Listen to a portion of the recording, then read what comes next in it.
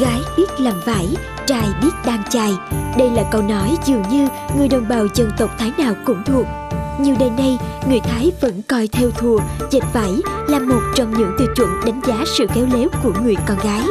Hãy cùng với Hiếu Nguyễn ngược ra vùng đất Mai Châu xinh đẹp để hiểu thêm về tấm thổ cẩm của người đồng bào Thái trong tập sau của Việt Nam mến yêu được phát sóng lúc 19 giờ 50 ngày 10 tháng 11 trên kênh truyền hình Vĩnh Long 1.